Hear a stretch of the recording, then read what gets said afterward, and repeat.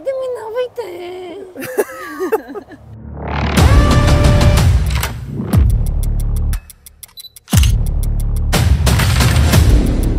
За първи път сме толкова подготвени. Това е обратното на импровизация. Днеска сме взели три вида рокли, като една от тях даже от бала на Аделчето. Четири вида рокли. Това, което е неприятно е, че почти задължително трябва да дойдете с кола.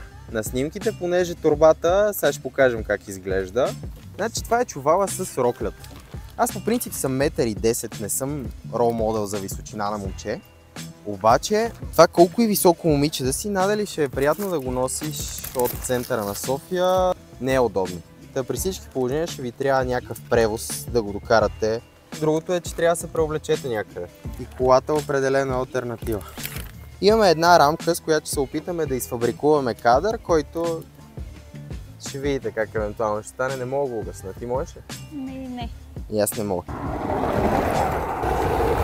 Това ще е най-спънатия едит на света.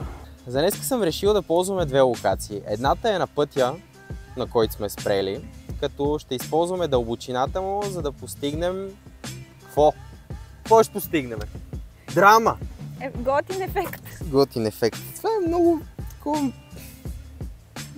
Бейсик.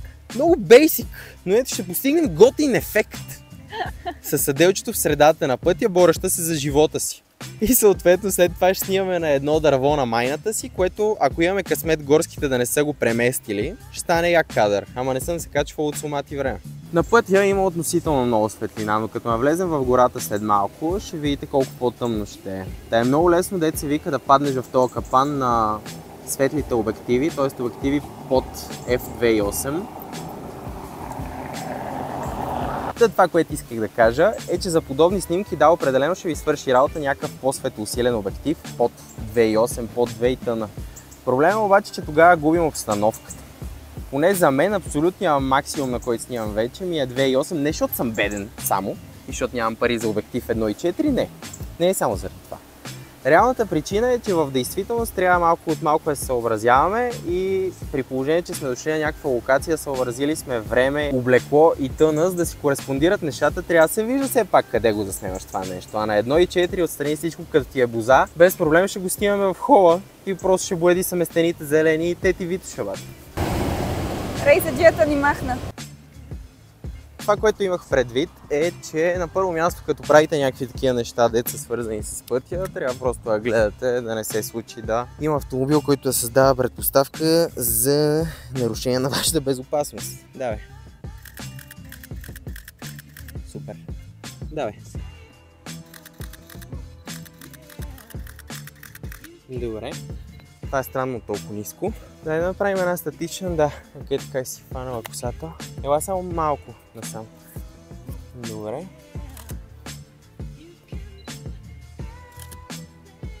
Ако трябва да съм честен, към момента не ми допадат. Фотографията е малко като тренировките. Трябва да се загрее по някакъв начин и първите кадри обикновено няма да са ви много яки.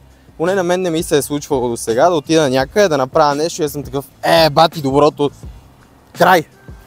Тръгваме си. Това, което може да направим, понеже разполагаме с въпросната рамка, която по-рано споменахме, ще се пробваме с нея да разчупим кадъра и да направим все едно кадър в кадъра.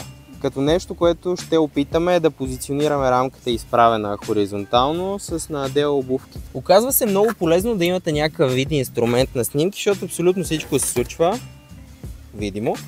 А кажи ми толкова криш за какво е бил на тази рамка. Прилича на нещо от битака. Мисля, че я намерихме на едни кофи. Да, това не мога да го кажа. Така направихме.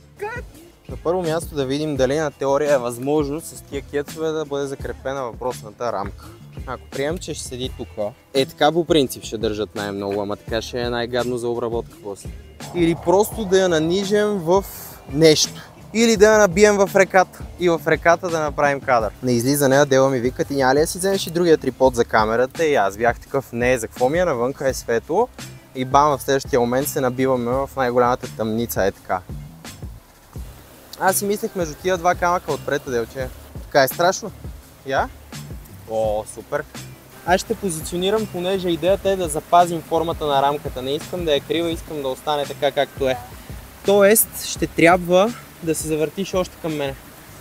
да седнеш по-навътре. Да, просто да ги качиш и да ги гушнеш.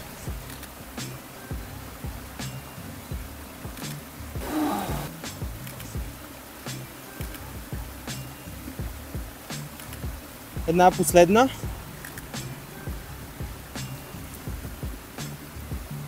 Много яко. Една на чехлите, продуктово позициониране.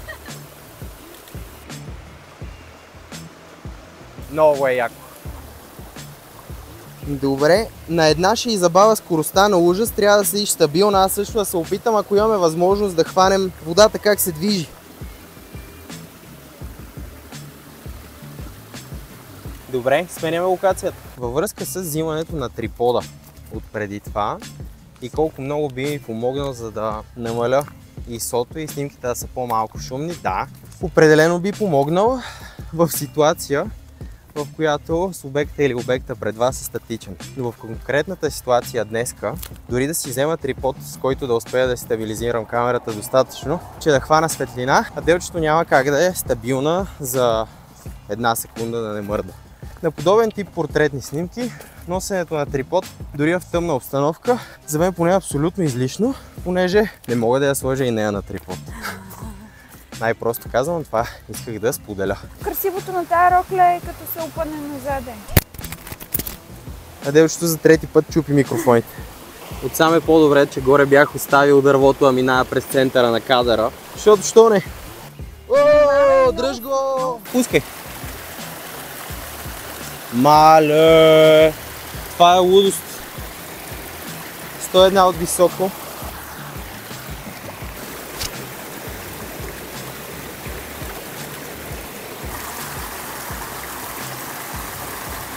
Само да видя дали съм стабилен. Като крико песък. Дет се вика. Оу, е това са снимките. Това беше за днеска. Не мисля да правим включване от, Обработка. от обработката. Да, ще го приключим тук. И не забравяйте лайк, subscribe, share. Към банка. Да, задължително. Какво стана с камбанките? Вече никой не ги ползва. Трябва да се бият.